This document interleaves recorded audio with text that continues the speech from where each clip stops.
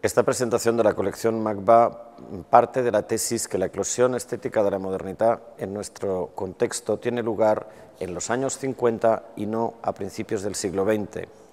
En este contexto, la práctica del arte es difícilmente separable de la práctica de la arquitectura eh, y del diseño, con lo que se construye una, eh, una situación en la que eh, posiciones artísticas opuestas eh, llegan a convivir con eh, gran productividad.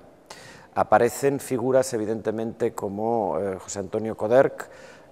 como Antonio Bonet en el terreno de la arquitectura o como el Grupo R, formado entre otros por Oriol Boigas, José María Martorell o José María Sostras, con, asociados con grafistas como Ricard Giral Miracla o Joan Pedragosa, en ese contexto la trienal de Milán de 1951 premia al ceramista eh, Antoni Cumella, una figura que recuperamos para la eh, colección del MACBA, así como eh, también las eh, diferentes expresiones en el terreno de la pintura y la fotografía que mm, comparten ese momento tan particular de la historia española como es el paso de la posguerra a los años 70. La eh,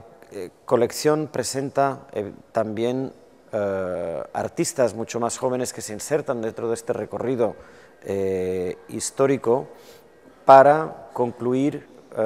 con dos secciones dedicadas, una a la relación entre poesía y disidencia, donde artistas como Marcel Brotars tienen un papel esencial, o bien,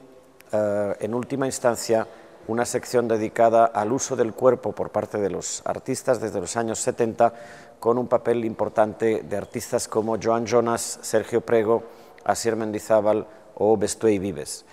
Es una apuesta también para eh, presentar una nueva manera de mirar la producción artística mm, en relación con otras disciplinas adyacentes y muy influyentes en su discurrir.